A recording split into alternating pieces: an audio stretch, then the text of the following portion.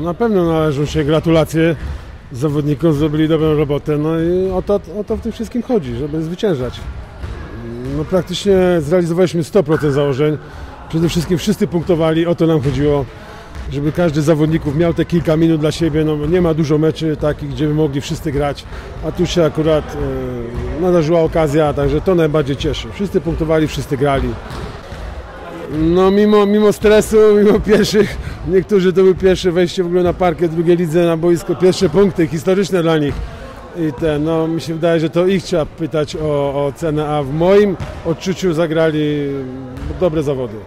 To no, jak coraz lepiej, no, z meczu na mecz na pewno będzie lepiej. Ten pierwszy moment przełamanie tego wszystkiego jest bariera. W niektórych meczach wydawało się, by się bali zwyciężać, tak? a tu było widać, widać tą chęć, chęć do zwycięstwa, no i czego im gratuluję. E, Z takim przeciwnikiem trzeba było, żeby wszyscy grali, tak? Trzeba było wszyscy grali, trzeba było przetrenować w warunkach meczowych niektóre zagrywki, gdzie e, z lepszymi przeciwnikami po prostu nie mieliśmy możliwości. Tutaj były one wykonane. E, No, no i trzeba wysoko wygrać. Przede wszystkim trzeba wygrać i dać szansę wszystkim, tak?